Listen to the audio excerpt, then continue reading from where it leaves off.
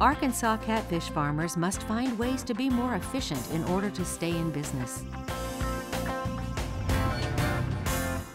This used to be a common sight across much of East Arkansas, the seining or harvesting of a farm raised catfish pond. But now, not so much. As recently as five years ago, there were 32,000 water surface acres of catfish ponds in the state.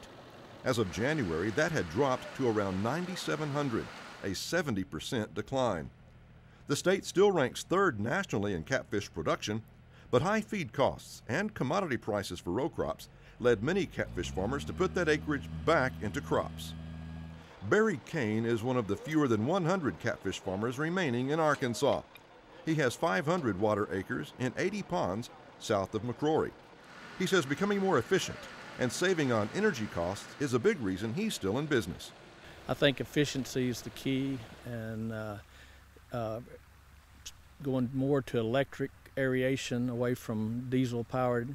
The diesel is a big part of our costs, and uh, of course, electricity is too, but we get more bang for our buck with electricity. Another factor is that the price farmers are now receiving for their fish has risen to around $1.25 per pound, which compensates somewhat for the higher cost of production. Kane is a member of the Catfish Farmers of America board and says consumers need to know the steps local farmers are taking to raise a healthy product. These uh, fish are raised in enclosed ponds with well water pumped into them.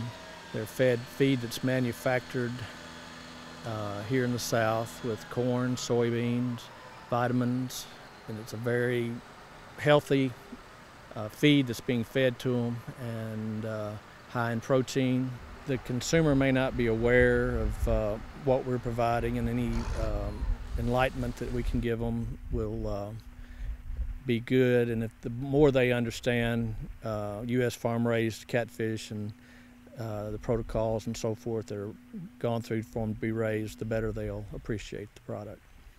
Kane says taking advantage of research in feed formulation and switching from channel to hybrid catfish, which grow more quickly and don't require as much feed, is one step some farmers are taking. Also, modifying their operations to the new split pond approach is helping other catfish farmers keep the industry alive in Arkansas.